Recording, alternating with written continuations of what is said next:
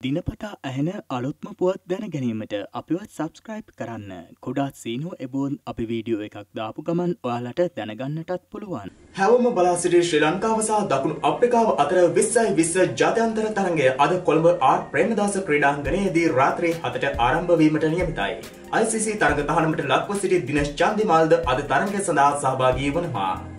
මේ අතර ආර් ප්‍රේමදාස පිටියේ විස්සයි විස්ස වැඩිම ලකුණු ලාබින් අතර පෙරමුණේ සිටින්නේ කුසල් ජනිත් පෙරේරායි. ඔහු මෙම ක්‍රීඩා පිටියේ විස්සයි විස්ස තරග එකොළහකට සහභාගී වී ආර්ධ ශතක තුනක් සහ ලකුණු තුන්සිය පනස් තුනක් රැස් කරගෙන තිබෙනවා.